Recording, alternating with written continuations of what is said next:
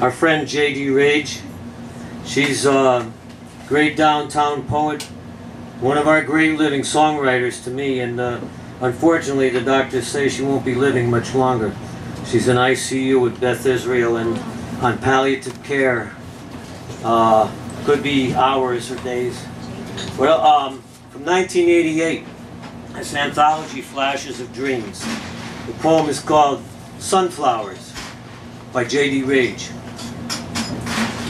Sunflowers by Blake and Van Gogh. Rhymes by Dylan and Reed. Score by Suicidal Tendencies. Song by Motorhead.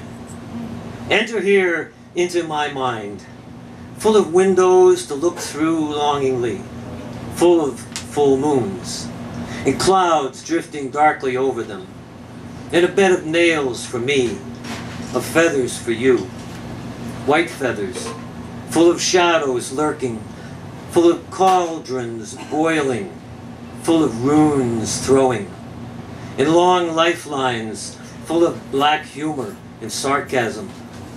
Knowing Nothing, sung by Eric Burdon.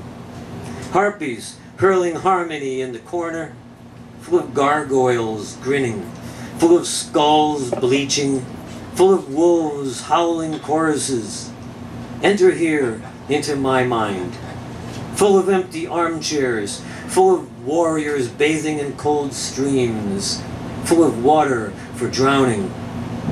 Brain by Da Vinci, Clothes by Sid Vicious, Death by Dying. Enter here.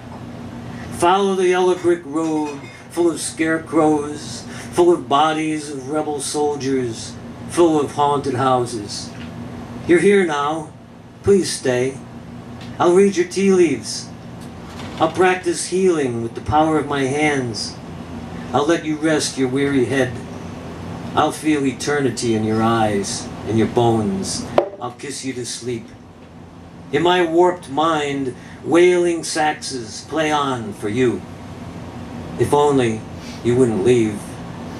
Haystacks by Monet, guitar solos by Hendrix, crucifixions by Jesus. Arm in arm will stroll my mind and leave the desperado world behind. You hold the candelabra. I'll lead the way.